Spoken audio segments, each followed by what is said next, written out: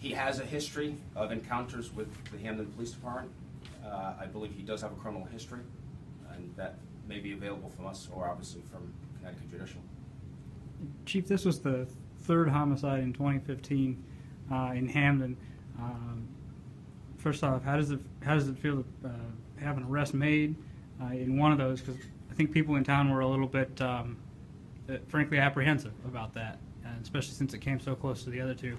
How does it feel to have a suspect in custody? And, and just have there been any developments in that in that other case with the two gentlemen who were found in the car?